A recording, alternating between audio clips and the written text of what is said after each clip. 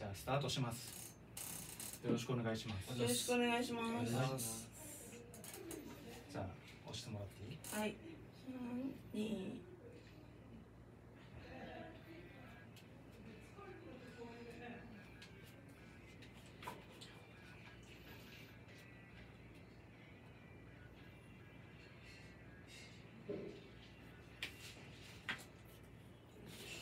FM ギヌワンのラジオをお聞きの皆さんこんばんはこんばんは。メンヘラジオのお時間がやってまいりましたこの番組は精神科病院の入院中に出会い、精神科病棟で愛を育んだギャンブル依存症の中村健太と乖離性障害の中村夏美の夫婦でお送りするメンヘラのメンヘラによるメンヘラのためのラジオ番組でございます。夜お薬を飲んだはいいがなかなか寝つけずこのラジオを聞いているメンヘラさん寂しくて不安でその気持ちを紛らわせるためにこのラジオを聞いてるメンヘラさん。私たち2人が疑問質問お悩み相談何でも受け付けます。健太さんの広く浅い知識と夏美のその場の思いつきでいろんな角度からお答えいたします。はいもちろんメンヘラじゃないリスナーさんからのご連絡もお待ちしております。メールアドレスの方を夏美さん。はいメンヘラ103アットマーク gmail.com ローマ字でメンヘラ数字で103アットマーク gmail.com までよろしくお願いいたします。はいよろしくお願いいたします。よろしくお願いします。はい、えー本日は、えーメンヘラジオ第49回の収録となっておりまして、はい。本日はねゲストをなんとはい。お二人お迎えして2人来てくれた、4950とちょっと日本撮りをさせていただきたいと思います。記念すべきうん50回までね、うんあのお二人のゲストにはいてもらおうかと思うんですけれども、うんうん。あのとりあえず YouTube をご覧の方はねもうはい。二人が映ってるんで、見えるかな、はい、見えるかなと思うんですけれどもじゃあお一人ずつ、えー、るいきくんの方からあの自己紹介お願いしようかな。るいきくんです。だよね。言っちゃったからだよ ごめんね。ああの、な、なんだろう、そう病、病気とかいう感じですよね。もう何でもいいんですか？もう何何でもいいよ今日はまあ何でもいいよ。るいきくん今日は。い来てもう一人。はい。あ、そう。今日は、うん。あの、すごい、なんか、あの、テンションが上がりすぎてて、うん。ちょっと頑張って今ブレーキしてるるいきくんです。うん。よろしくお願いします。久しぶりにねよゲろしくストになりますけれどもよろしくお願いします。ではもう一人自己紹介お願いします。はいどうも幸せセラピストのナシューと言います。はいよろしくお願いします。人を人を幸せにする活動をしております。よ大丈夫かな？大丈夫かなろしくお願いいたします。よろしくお願いいたします。じゃあ今日はナシューでナシュー？はいナッシュナッシュナシューではい。ナシューでよ呼べばい。これちょっとあの始まる前に打ち合わせしとけえばよかったー、ちょっと確認してけばよかったなな ナシューで。じゃあ今日はじゃあ、えー、るいきくんとうん。ナシューさん、うん。はい。ナシューさんとはちょっと初めましてでねはい。あの僕らちょっとメンヘラでやってますんで、ナシューさんはちなみにメンヘラかどうかで、はい僕は今までメンヘラとかほど遠いと思ってたんですけどうん。うん。最近僕は恋をしておりましてうん。本当に中学以来の恋でして。うん。うんあの恋をするとうん。メンヘラですね僕はね。あこれメンヘラだな。苦しい苦しいです。あじゃあ見事今日はメンヘラフレンズが4人集まったメンタルが崩壊ししそうです。うんいろいろお話を聞けたらなと思いますので今日はお二人ともよろしくお願いいたします。はいではあの第50 49回、うん。はい、えー本日も短いお時間ではございますがはい。最後までお付き合いのほどどうぞよろしくお願いいたします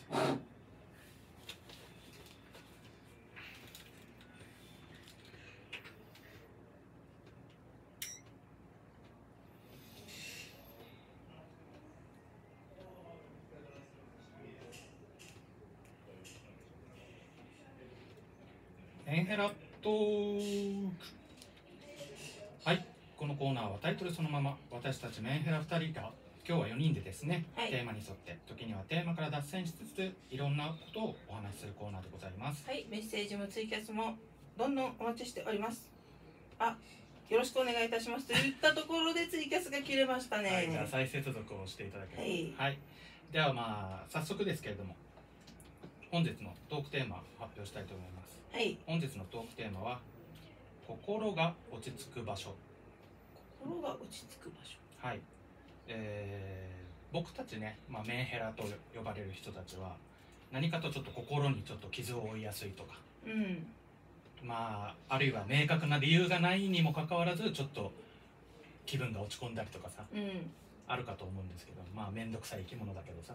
うん。まあそんな自分の沈んだ心をはい。ちょっと落ち着かせるために、うん。ある場所に行きますとかうん。ここが一番僕は落ち着きますとかうん。お家の中とかさ自分の部屋なのか、自分のお家の中でもトイレなのかうん。いろいろあるかと思うんですけどそういうのがまあ例えばメンヘラじゃない人たちでもねもちろんあると思う。のあると思うからあのぜひ聞いてねちょっとさん自分が心を落ち込んだ時に参考にちょっとさせてもらえたらなっていうところでこのテーマにしたんですけれど。うん。あのいくつかねメッセージ届いてますのではい。2人には後でちょっと聞いてみようかな、はい。あのではじゃあまずメンヘラネーム。夢をつかぽんさんより。あつかぼんさんありがとうございます。はい、えー心が落ち着く場所はやはり自分の部屋です。友達の描いたアートうん。アート作品を飾ったりしてますと。うん。本当に辛くなった時には近所にある巨大な森と湧き水が出るスポットへ。うん。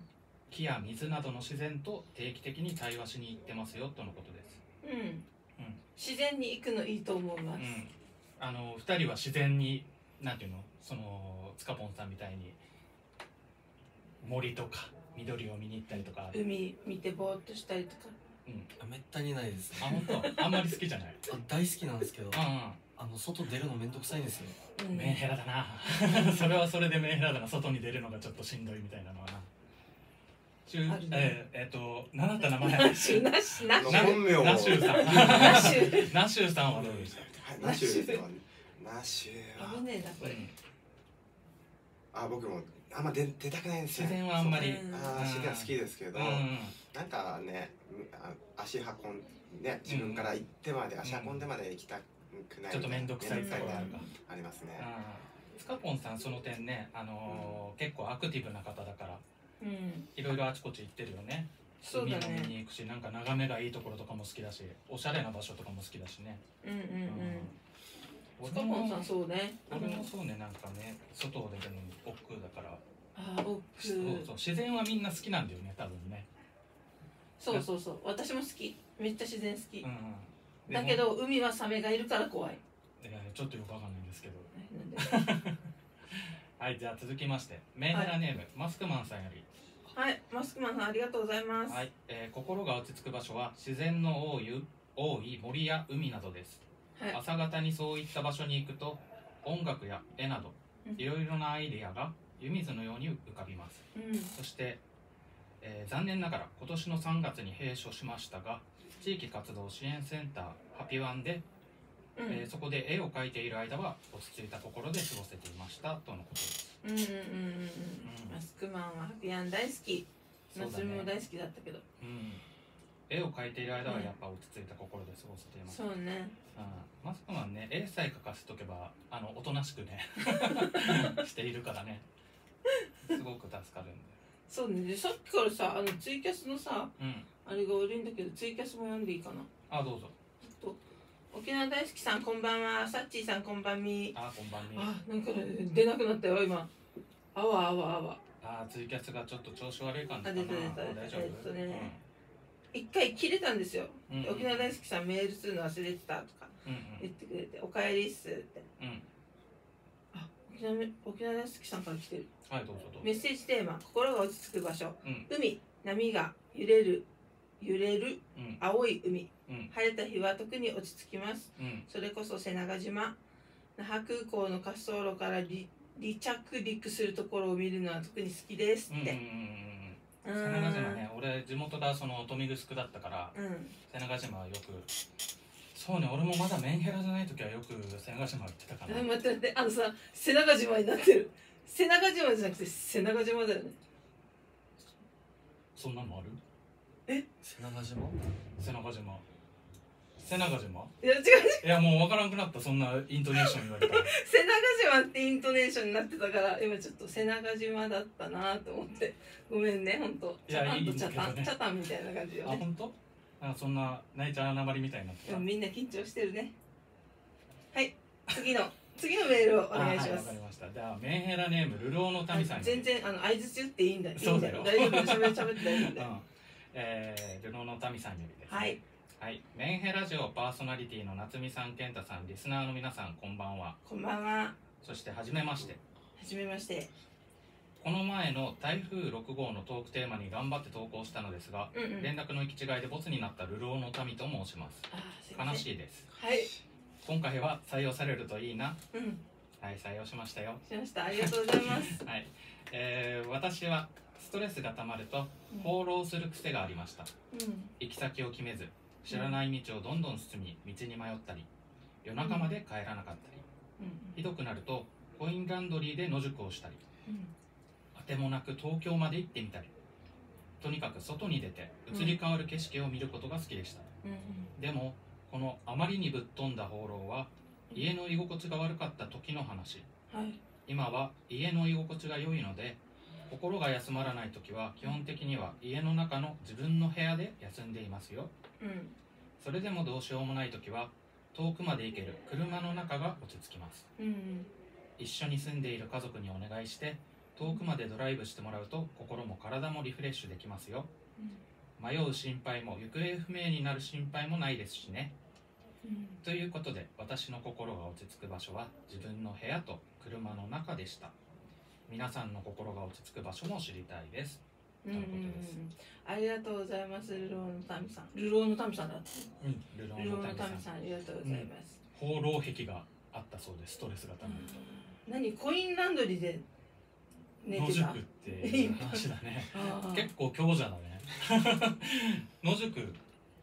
コインランドリーね。でもね俺もねあのーギャンブル依存症だからね。ギャンブルしてちょっとお家に帰りづらいなって時はお金もないからねギャンブルでお金使って。うんコインランドリーじゃなくて俺はあの公園のトイレで寝てあー。リアルだね。た段ボール持ち込んで あの障害者用のトイレ。うん。もう夜中深夜に。うん。そこを鍵閉めてそこで寝てた。あ逆に安全そうそうそう。ちょちょうど雨降ってたからね。雨降ってなかったらうん。外でも眠れたはずだけど、うんうんうんあーだからこれはね、まあ、気持ちは分からなくもない。外に出ちゃうっていうのは、うんうんうん。俺の場合なんかお金がないからってところもあった。ってところもあった。うんうん、私はあの交番で寝てたことありますよ。それってなんかあの 補導されて連れて行かれてん補導されてた。うん補導されて連れて行かれあでもそんなに人がいない交番だった人がいない交番。あ巡回中だったのかな？そう巡回中だったんだと思うあの気づいたら交番の中の椅子で寝てて。帰りましたけどはいはいはい。普通に。んでルローのためさんは車の中が落そうち着きます車の中落ち着くよね。あのルイキ君とナッシュ。うん。さんははい。どこが落ち着きますか？じゃあナッシュさんから。はい。あのなんか一応僕たちね、うん。最近ねうん。パワースポット巡りにねちょっとハマね。あそうなんだっててね。えー、嘘でしょ。嘘ついたの？あ嘘ついてない。からちょっとね。おい。初耳みたいな顔していやいやあなんかそういうこ中城そういうことさか。あそっかそっかそっかなんだったメイちゃんあメイちゃんみたいな。はさ。ななんだった？あそこ。なんなんだ？パワースポットでしょ。パワースポットね。そこにこの前行ったんですよ。二人。三人か。3人で。ね行ってちょっとそうやって。本当に心落ち着く場所らしくてうん。彼にとってリーキさんにとって。うん。何回も行ってたらしくてね。うんうん。お落ち着くんでしょ？お落ち着きます。なんか。今はじゃあ一番落ち着く場所はルイキ君にとってはメイちゃんの日は比較的落ち着く。でもなんか記憶になくてさっきまで。やばいと思って。え落ち着くのは事実なんですけど。でもなんか必死に考えてたんですけど、うんうんなんか俺は落ち着いてる時は落ち着くんですけど、うん。落ち着いてない時どこ行っても落ち着かんなと思ってて。ああなるほどね。それはわかる。メンヘラあるあるかもしれないあのお家の中が落ち着くはずなのに心がわさわさしてるからお家の中にいても落ち着かない。何も落そうですねち着かないってことそれはメンヘラあるあるかも、うんうんうん。なるうほどね。ん、じゃあ今あえて心が落ち着く場所って考えたらどこになる？布団の中っすかね。あ布団の中。いたよ。布団の中っていうあつあツイッターの返信であね元ツイッターのあのそうくれた方がいました。あ X か今は。うん。今は X 布団の中に決まってるでしょみたいなそうね布団の中でしょうって言いましたね。うん。トラコスイさんだったかな。そうだね。うん。だね、いましたね。ありがとうございます。もう世界中を布団にしたら平和になるだろうねって言ってた。確かにって感じですようん。えもう布団強打みたいな感じです 全部布団。地球が布団最高だぬくねぬくしてね。そうね。みんなね 眠ってから。うん。ちょっと危ない地球になりそうだけどね。うん。なんかツイキャスは来てあますか？ツイキャス来てますよ。はい。沖縄大好きさん。うん。他に他に落ち着く場所を挙げるならライブハウス。音楽の生演奏とかイベントのステージでの楽しい、うん。楽しい雰囲気やうん。落ち着いた雰囲気が好きです、はいはいはい。僕が推してる場所は、えっと那覇にある Sounds Good っていうライブハウスです、 Sounds Good うん、うん確かに、うんうんうん。僕らも行ったことある、ね、何度か行ったことあるね。 Sounds Good 地下にあるやつ。そうそうそうちょうどそう土曜日行ってきたんですよ。あマジであ本当？と友達がライブ主催してて。リアルタイム、リリアルタイムだ。タイムリーっすよね。ううわんおもろ。沖縄大好きさんもしかしてどっかですれ違ってるかもしれない。すれ違ってるかもしれない。サッチーさんからも来てます。メッセージテーマ、心が落ち着く場所は車の中かなあ自分で自分で好きなところに行ったりうん。好きな音楽聴いたりできるからって、うんうんうんうんうんうん。うん、車の中だと落ち着きますって沖縄大好きさんまで言ってるね。あ本当。みんなやっぱり車の中まあ俺も運転好きだからね。うん。車運転してたらやっぱり落ち着く。ドライブとかね。うん。うんうん。落ち着くかも。それこそ私も2人はドライブでねそうやってメイちゃんの家行ったり今日もなんかあちこちドライブしてたんでそうなんですよ。うん。やるねやることなくてうん 運転してもらって北谷のさえとえっとあっちどこだろう。えコンベンションシティなんですか？はいはいはいはい。あっちのさえ2軒はしごしましたね。三栄をはしごしたんで。はしご。北谷の三栄ってああっちか？あのハンビ？ハンビータウン。あハンビータウンうん。なんかあるわ。ハンビータウンさあの私が行ってた生活訓練の近くにああったから、うん。ハンビータウンよく行ってたんだけど、あ二人も行ってるあそうそう生活してる行ってる生活あしてるー一緒一緒なんだけど、うん。お惣菜がうん。美味しい、ハンビータウンの？うあそうなの？んうん、どこ行っても美味しいけどなんかハンビータウンはおあの行くまでにちょっと歩いていくから、うんうん。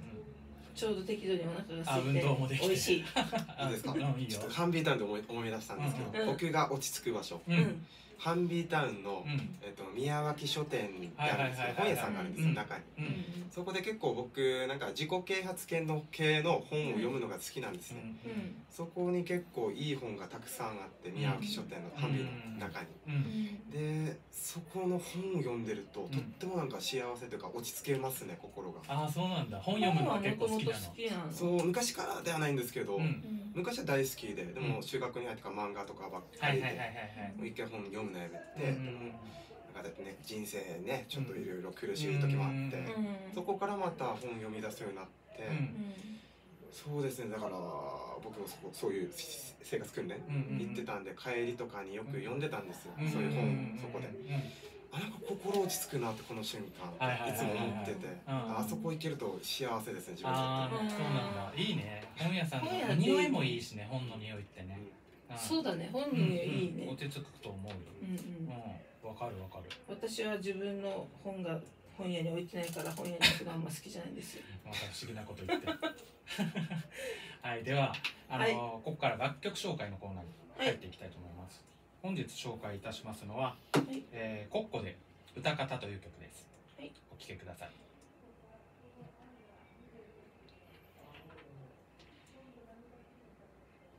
OK 流れてる？流れてる？聞こえるよ？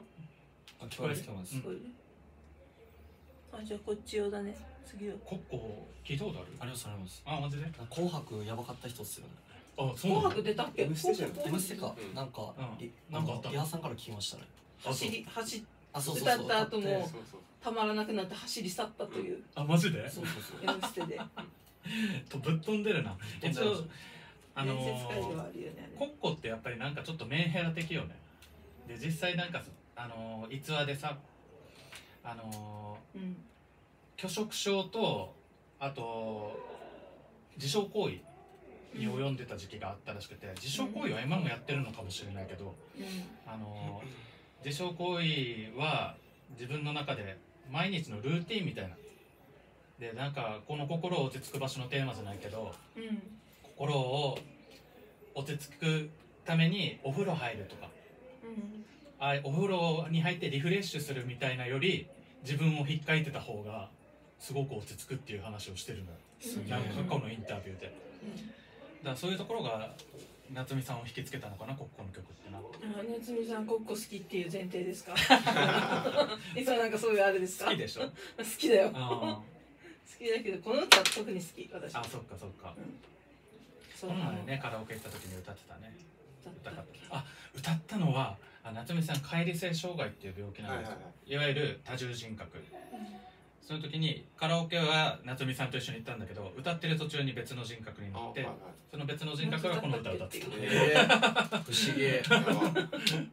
わかるんだね。わかるっぽいよ。えー、だからカラオケの話だから行ってみたいですね。ねどんな感じになるんだカラオろうねケ行きたい。行きたいね。今度こ今度機会があったら4人で行ってね行きましょう行きましそょう。の前デージ気持ちよさそうに歌ってたもん。あはは見られました見られたんですね好きな人の名前絶叫しててマイクで。さすがにやばいなと思って。酒飲む動画しかないですよ僕は。僕はしかないです今サンボマスターポカタセ言い方がそうなんだ。人が変わるよでも気持ちよさそうに歌ってて楽しそうだな楽しそう。ケンハチはよく行くんですか？二回？三回？目くらい三回目。俺は自分四三回四回目ぐらいですレイ君も結構行ってあ矢さんが連れてってくれる時だけ。あそうなんだね。ああ俺たちもね今度みんなで行こうねってうん。えエアさんにねエアさんつかぽんでいいか？夢をつかぽんにね。名前出しちゃダメじゃない。案内されてるからね。じゃあ行けたらいいな。司さんに 名前で言ったらなんか名前で。ドドキッとするらしい。ドキッとする。ねするらしいよ。つかささって名前なんあそうです。えそうー結婚式の司会してほしくて司ってつけた そうそう司会の詩でね。うん。あははい。いじゃあちょっとマイク戻そうね。うん。はい、えー、お聴きいただきましたのは、えー、コッコではい。歌方でした。はい。はい、えー、それではメンヘラ城エンディングに入っていきます、はい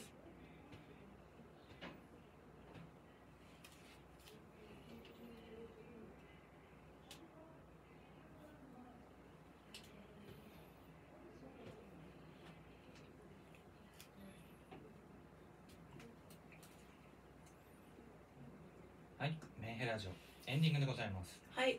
はい、えエンディング早いね。あっという間ですね。うん4人いたらね、なんかやっぱり喋る話題にもうん。多分尽きないんだよね、うん。心が落ち着く場所でもともとトークテーマ募集してたから、うん。ちょっとなかなかねお二人に喋ってもらう時間がなかったかもしれないですけど。そうね。まあゲストで来ていただいてて、まあ、記念すべき次週が第50回ということでうん。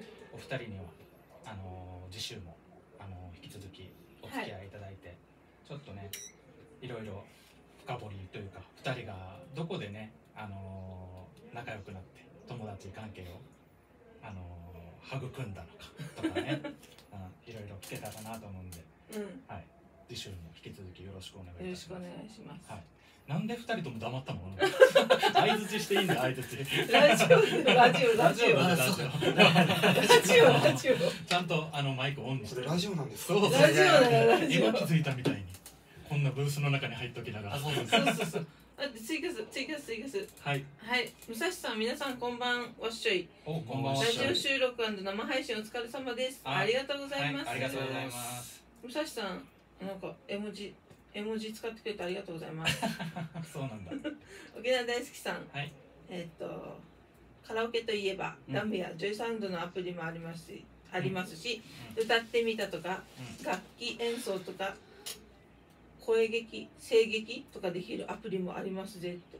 へえそうなんだ。うん。うん今でももうなんなんでもある感じね。いろんなアプリあるすごいね、うん。沖縄大好きさん面白い。うんすれ違いたいキャーって。すれ違いたい？うん。あのさっきライブハウあスですれ違ってるかもしれないねって言った時のはいはいはい話すれ違ってるかもしれないですね。そうそうそうすれ違いたいってすれ言ってる。違いたい二人ともよくライブには見に行くの？あライブ見に行いって。行ったことないです二人では。あそうなんだ。基本友達にバンドマンが多いんでうんなんか誘われたらオッケーっつって言っちゃうんですねうん。でもあのーはい。収録前にちょっとお話したけどナッシュさんは、えードラムをやられるって、やってますよ。はい。うん。うんもうこれはさっき聞いてたけど1年ぐらいドラム教室に通ってた、そうですね。はい。うん。もう結構叩けるんですか？すごいできいやる A と B と基本的なことしかできないです。あそうなの？そうなんです。まあ、でじゃあここからだよね。なんか2人でバンド組もうかみたいな話もさっきはね考えてるみたいなのちょろっとですいやうんそう組んでますよ。組んでるけどうんうんなんか曲作ったり具体的な詰め方をしなくて。ああそう。なんだ、うん。今ちょっとじゃあ助走してる段階っていうか。そうそうそうなんかどんなコンセプトでどういう感じでやるかみたいな話して。て面白そうだね。バンド名も募集中ですあ募集するの？募集するるの？のとりあえずなんかバンド名募集中っつってうん。ライブハウス出てうん。なんかもうその日聞いてうん。なんかもうもらったやつをうん。今度ライブ出る時使ってでまた募集中ですっつってうん。で繰り返したら一瞬だけ面白いかなと思ったんですけ ちょっと話題になりそうだねファンがどよめく もう毎回ライブごとであのバンド名が変わる。そうそうなんですよ新しいかもしれない、ね、新しいかもしれないそれ。うんうんうん。でさっき沖縄大好きさんも言ってたけどさ、はい。ライブハウスが落ち着くって言ってたからうん。なんか、暗いところうん、暗いところとかね落ち着くのかもしれないね、うんそれあるかもしれない。うん密閉されてて。うんうんでイメージとしてはロックやるの？それともしっとりと？バラード。あそうそこここからまさにここからなんだ。僕がロックとかメタルが大好きな人間あで彼がね何だった？レゲエとかあなんかヒップホップとか。あオールマイティジャパレゲとかなんかいろいろ聴いてたりとかするんですけどあロックも好きだよね。ロックも好きですね。エンディングもう終わりそうなんで、えー。あそうなんだはいじゃあお薬飲んで。寝ろ。寝ろ。終わっちゃった。ありがとうございました。はいありがとう。ありがとうございました。お手洗いとか休憩大丈夫ですか？休憩時間何分ぐらいですか？